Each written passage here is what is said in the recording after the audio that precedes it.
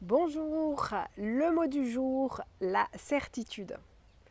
Tant que tu n'as pas la certitude que tu es en capacité d'atteindre ton objectif d'allègement, tant que tu, n'as pas la certitude que tu es en capacité de changer de comportement alimentaire sans frustration, eh bien effectivement tu ne pourras jamais atteindre cet objectif.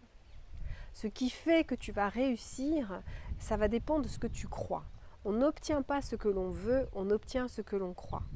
Donc à ce jour, si tu as été en échec, c'est que tu crois quelque chose qui te limite et qui t'empêche d'atteindre cet objectif. Donc tu auras beau avoir chaque année la résolution je veux réussir à perdre du poids et je veux changer de comportement alimentaire, si tu n'as pas pris le temps d'identifier ce que tu crois, ce qui t'empêcherait d'atteindre ton objectif, eh bien tu n'avanceras pas.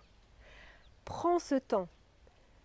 Qu'est-ce que tu te racontes qui pourrait t'empêcher de croire que tu peux réussir à te libérer de tes kilos, à changer de comportement alimentaire.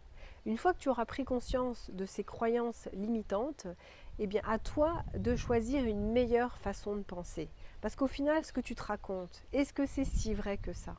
Ok, tu as peut-être vécu beaucoup d'échecs, tu as fait l'expérience de pour beaucoup de douleurs pour réussir à t'alléger. Mais c'est ton expérience actuellement. Est-ce que tu es vraiment sûr qu'il est impossible de s'alléger sans frustration et qu'il est impossible de s'alléger même en ayant pris autant de kilos. Bien sûr que non, il y a plein de personnes qui réussissent. Prends conscience de ce que tu penses et à toi de choisir de mieux penser pour atteindre ton objectif. Très bonne journée. Au revoir.